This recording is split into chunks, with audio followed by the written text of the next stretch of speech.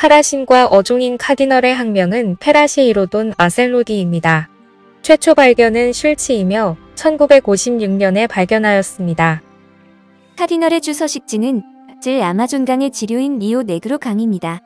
사실 베네수엘라 등 남미 여러 지역에서 발견이 되기 때문에 한 지역에 특정된 종은 아닙니다. 국내에 들어오는 대부분의 카디널은 인공 번식된 친구들입니다. 주로 인도네시아산 개체들이 많이 들어오며 야생 개체와의 차이는 크기입니다. 대체로 야생 채집 개체들은 크기가 작고 수입되는 반면 인도네시아 breeding 개체들은 성어급으로 수입됩니다. 자연에서는 수초가 우거지고 물의 흐름이 거의 없는 곳에서 서식합니다. 사육할 때 너무 강한 수류는 좋지 않습니다. 보통 자연에서는 1년 내외로 사는 것으로 알려져 있으나 가정의 수조에서는 3년 이상 살기도 합니다.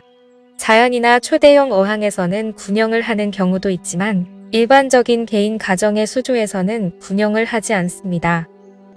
카디널의 최대 크기는 3cm 내외입니다. 암컷이 수컷보다 조금 더 큽니다. 성어급 개체의 경우 체형으로 쉽게 암, 수 구분이 가는데 체형이 가늘고 긴 개체는 수컷이고 통통하고 배꼴이 넓은 개체는 암컷입니다. 초소형 종은 아니기 때문에 해소이자 소폭 정도 크기의 어항이 좋습니다. 수온 적응 범위가 높으나 고온보다 오히려 저온에 약합니다. 수온은 최소한 23도 이상은 유지해주고 최대 30도까지는 괜찮습니다. 귀엽고 예쁜 외모와는 다르게 자연에서는 가리는 것 없이 다 먹습니다. 새우 등의 갑각류 붙어 있기를 떨어진 과일 등도 먹는 잡식성 물고기입니다. 어항에서는 입에 들어가는 크기의 먹이를 주면 되고 가끔씩 특식으로 냉동 장구벌레를 줍니다. 대부분의 소형 물고기와 함께 키울 수 있습니다. 구피와도 함께 사육 가능하지만 구피의 치어들을 먹을 수 있습니다.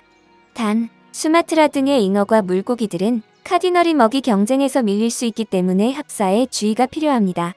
또한 시클리드과의 대부분 어종과는 합사가 어려우며 엔젤, 디스커스 등과도 합사는 하지 않는 것이 좋습니다. 애니몰로 물고기 백과사전 카디널 테트라 편이었습니다. 시청해 주셔서 감사합니다.